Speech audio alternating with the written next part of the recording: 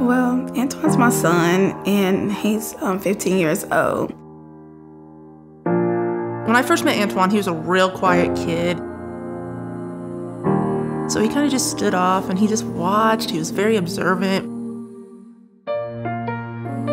Because of his reading problems, he was a little bit skittish about meeting new people. And that first year, we couldn't even get him to read a sentence. He struggled with reading and stuff, so it's like, you know, that was an issue.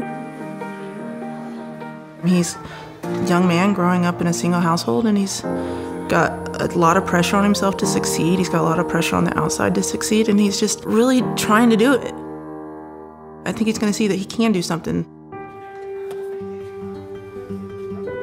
Antoine is exceptional in his compassion for others.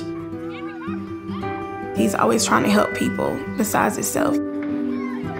Just the kids looking after his behavior all the time, just seeing what a, a good character he is. He's the first kid to say, yes, ma'am, no, ma'am, please, and thank you. It really makes him a good role model. I try to help him out the best way I can. I love it. I think, like I said, I think he's one of the sweetest kids I've ever met too, so you're gonna make me cry.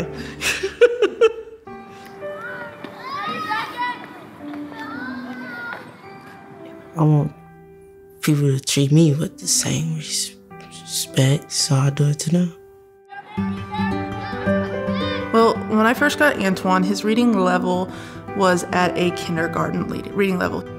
I remember the first day we tested him, and he pulls me aside and he goes, I'm embarrassed to do it. I can't take this test in front of people.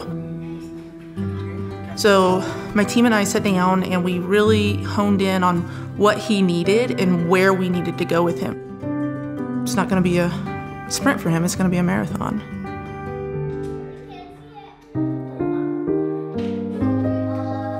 Antoine's greatest accomplishment is just the jump in skill level from when I started with him.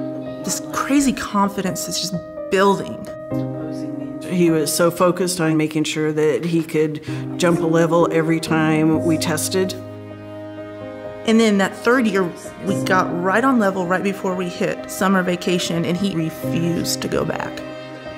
Every time I read, like, I'm not stopping or nothing. And he just kept building, kept building. So we tested him again this year, and boom, eighth grade. In a span of about four years, we've gone from kindergarten to eighth grade. It's a huge accomplishment to make that big a leap from where we started. You don't make growth like this kid made without some type of recognition. When I found out Antoine won the award, I was ecstatic. Uh, Brandy and I were just running around and yay! I was happy. I know he deserved it. Like, I didn't believe it at first.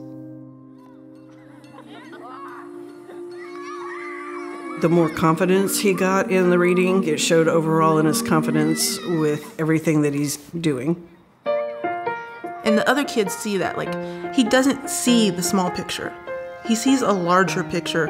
And he feels that if I give to you, you're going to give to John, and John's going to give to Jane, and Jane's going to just keep this cycle going, and it's just not going to stop. And he truly lives by that. I'm proud of myself because I'm trying like my hardest. I know you're gonna do great. I can see it on your face, I can see it in your eyes. And I'm super proud of you in everything you've done. Miss Brandy? Love it. She, she, she's a loving person. She want me to see it in life.